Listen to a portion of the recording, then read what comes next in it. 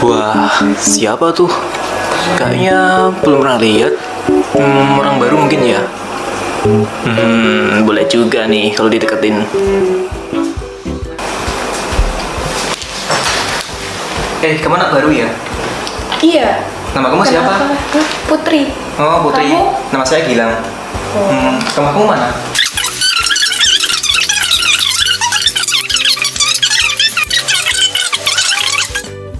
Jadi kamu tuh bisa dua bahasa. Bisa dong. Emang bahasa apa aja? Bahasa Arab sama bahasa Jawa tentunya. Coba kalau bahasa Arabnya diam di tempat apa? Oh, kalau itu sih nak kabur. Kalau bahasa Arabnya musim kemarau? Kalau yang itu, al hujamu lama tak turun. Hmm, kalau bahasa Arabnya sangat haus. Ah, yang itu lama tak minum. Terus kalau bahasa Arabnya ibu naik pohon tapi nggak turun-turun, apa? Ah, itu mah gampang. Turun mah, mayu turun. Emang iya ya? Kok kayak aneh ya? Kamu yakin nggak? Nah, itu kan tadi kan lu bisa ya, Bang? Eh, nggak gitu dong bahasa Arab bisa sih bisa cuma nggak gitu juga bahasa Arabnya Tuh kan, salah. Emang ya cowok tuh selalu salah. Pantes aja tadi aku pas denger jawabannya itu aneh gitu. Coba deh aku ulang pertanyaan aku. Bahasa Arabnya diam di tempat apa? kalau itu al wukuf alal makan Hmm, kalau musim kemarau, bahasa Arabnya apa? oh kalau itu asyita Terus kalau sangat haus?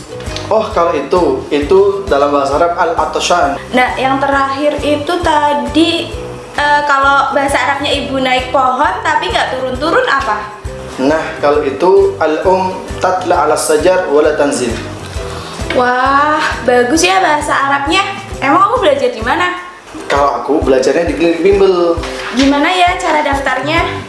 coba deh kamu cek IG-nya at klinik bimbel nanti follow bisa ditanya bisa di situ ada nomor WA-nya bisa kamu catat kama arafna anna lughat al-arabiyyah hiya lughah muhimmah jiddan indal muslimin لماذا؟ لأن ال- ال- القرآن وكتب السلف منزل على كتب على اللغة العربية ومكتوب باللغة العربية لابد لكل مسلم أن يعرف وي- ويتفقه في علوم العربية لكي يفهم ويتفقه في علوم الدين.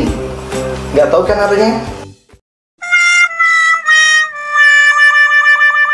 Jadi artinya bahasa Arab itu sangat penting bagi umat Islam. Kenapa? Karena umat Islam itu kitabnya diturunkan dalam bahasa Arab. Kitab-kitab salaf para ulama pun tertulis dalam bahasa Arab. Jadi sangat penting bagi umat Islam untuk belajar bahasa Arab. Kema- kema- Kenapa? Karena mereka biar paham dan bertafakuh atau mendalami dalam ilmu agama. Itu artinya. Preview.